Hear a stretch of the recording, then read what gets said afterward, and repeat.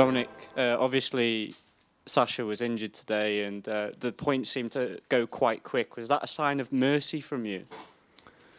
Uh, well, I mean, it's it's it's never never easy if if your opponent uh, obviously is not hundred percent, but uh, he's one of the fittest guys on tour, and even for him, it's maybe a little bit too tough to play three five setters in in the first rounds of a slam.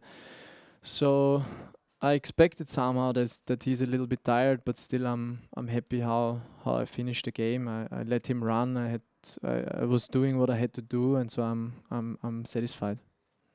Third straight time you've won a quarterfinal here and gotten to the semis. What do you think you're doing better this year than you were even doing last year? I'm a better player in general for sure. I mean, there was another year of, of work and where I improved and developed my game.